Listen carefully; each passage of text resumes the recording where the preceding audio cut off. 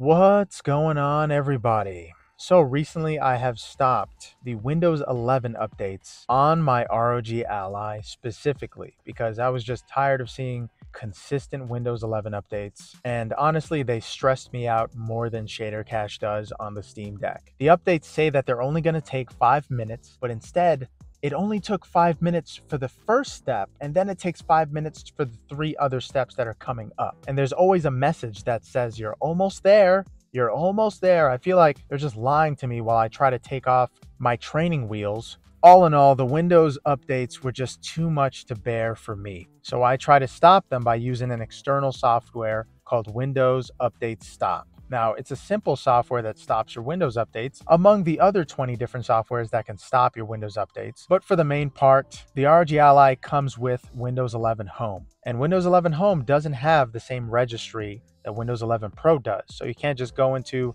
your registry in Windows 11 and turn off updates or automatic updates. You actually have to download the registry and do a bunch of other steps in order to stop it. But this video is the continuation of that older video where I mentioned stopping Windows updates. And the reason why I'm making this video is because Microsoft actually listened to everybody. Right now, there is an option to stop and delay your Windows updates for actual years. I have actually stopped Windows updates on my ROG Ally for 10 years. And this is an option officially provided by Microsoft themselves. They actually listen to us in some kind of extent or way. This is the first time this has happened. And this is one of the biggest things that Microsoft has ever done actually listening to their customers. And pretty much it's the main reason why I admit that I was wrong about stopping those Windows updates. Now, a lot of people commented and they were worried. Stopping Windows updates doesn't exactly leave your Windows 11 operating system defenseless. You can always get external defenders and antiviruses like ESET.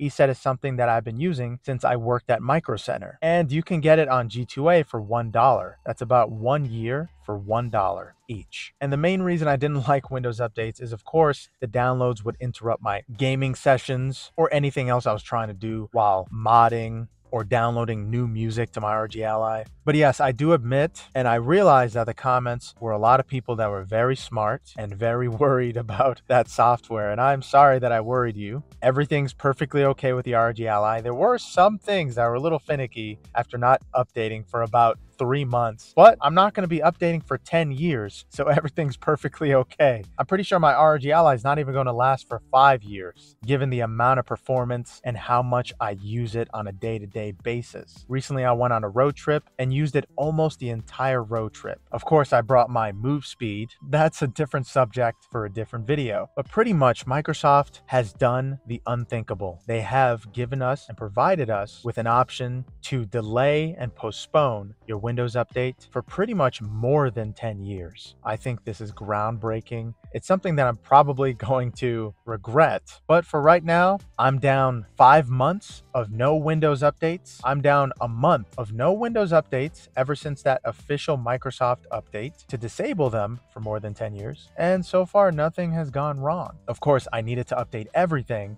after that new sweet Armoury Crate update showed up and the AMD software update showed up with the FSR frame generation feature. So naturally, I had to update Windows as well, and I was happy to. But after doing that, that's when that amazing 10 plus year postpone option showed up. And I just think Microsoft listened to the videos that I made before and every video that people made regarding handhelds not being a good option for the Windows operating system to be implemented into. So, may as well just stop updates altogether, right, Microsoft? I think this is a fine choice if you're just sick of every single update and just don't want to be bothered. If you're just okay with the games that you have now and the battery life and performance that the ROG Ally has to offer, I feel like you can postpone for a very long time. But of course, a lot of people do worry about having their information leaked. Well, guess what? Windows 11 leaks your information regardless if you update or not. Even if you have some kind of countermeasure like a VPN or an antivirus like ESET, your information can still get leaked with certain routers. If you stay at an Airbnb, that router can leak your information. It doesn't matter what you use, your information will get leaked regardless. The internet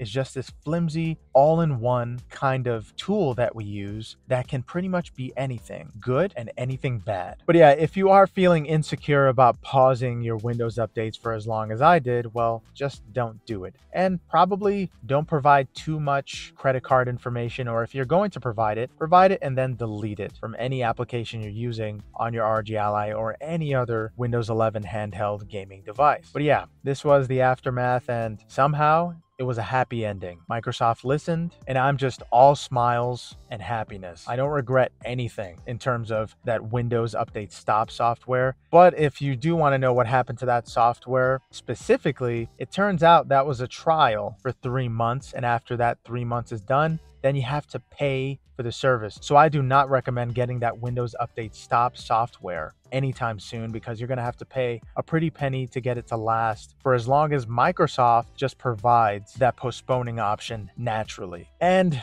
if you want to comment, what do you think about postponing or just disabling Windows updates in general? I'm pretty sure I know what you're going to say, but I still support the option to stop updates. And I'm just happy that Microsoft listened and they're on the same page. Yeah, thank you guys so much for watching. Hope you enjoyed the video. Later.